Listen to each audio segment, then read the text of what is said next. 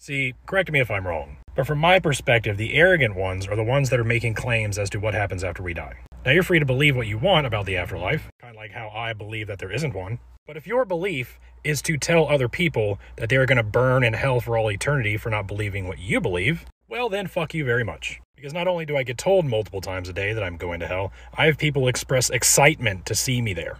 Not because I'm a bad person, I'm in fact a pretty good person. But none of that matters if I don't also subscribe to your religion. See, I don't require fear of burning for eternity in hell if I'm not a good person. I also don't need the promise of spending eternity in paradise to incentivize me to be a good person. I try to be a good person because I want to be a good person. That is its own reward.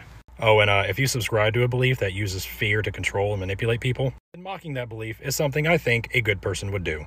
You know, firstly, I just want to say to this guy if you've had people that yell at you and, and say that you're going to hell and say hateful things to you, I'm sorry, because that's not a good representation of Christianity. It's just not. Shouting at people, screaming at them, condemning them, that's not the way that we should go about it at all, especially without the key information of the gospel. How are people supposed to understand any of this stuff if all we yell at them is hate and condemnation? They need to understand what is sin? What have I sinned? Uh, how do I even understand that? And also, what has Jesus done on my behalf? I want to talk about this other aspect that this guy is talking about. He's saying that Christians are prideful because they presume that something happens to you after you die. And how would they know that? Well, I think it's ironic because God has revealed himself through his word.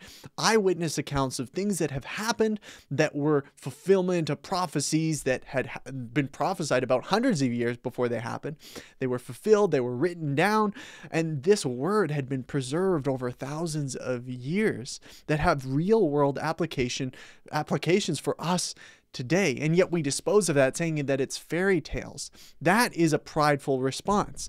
It's not the prideful ones, like we're not being prideful by taking God at his word and saying, okay, I got to apply this to my life. I got to believe this.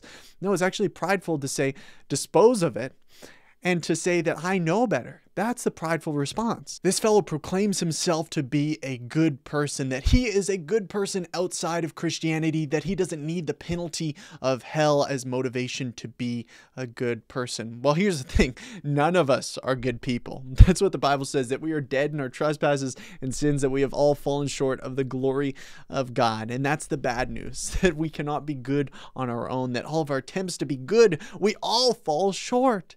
And this fellow falls short too that he has this blind, he has blinders on to, to not see the fact that he has truly fallen short. He, he thinks he's a good guy. And so, no, yeah, it's Christianity is not about trying to be a, a better person and, and fixing your life so you don't go to hell.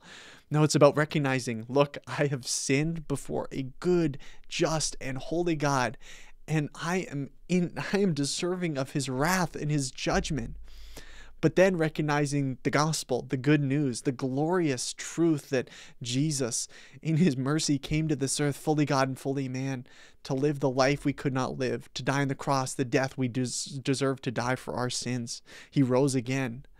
And so we would be free, that we would have eternal life, not because we were good enough, not because we were smart enough, not because we were humble enough, but because God is just that gracious and that merciful. And when we put our faith in Him, we are given a new identity. That's so amazing and that's so freeing.